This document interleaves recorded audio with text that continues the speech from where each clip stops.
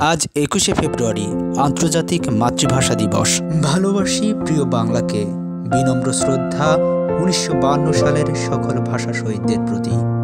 যাদের রক্তের বিনিময়ে পেয়েছি একটি সুমিষ্ট ভাষা, বাংলা ভাষা। পৃথিবীর সকল ভাষাভাষী মানুষের প্রতি রইল আন্তর্জাতিক মাতৃভাষা দিবস উপলক্ষে প্রাণঢালা শুভেচ্ছা।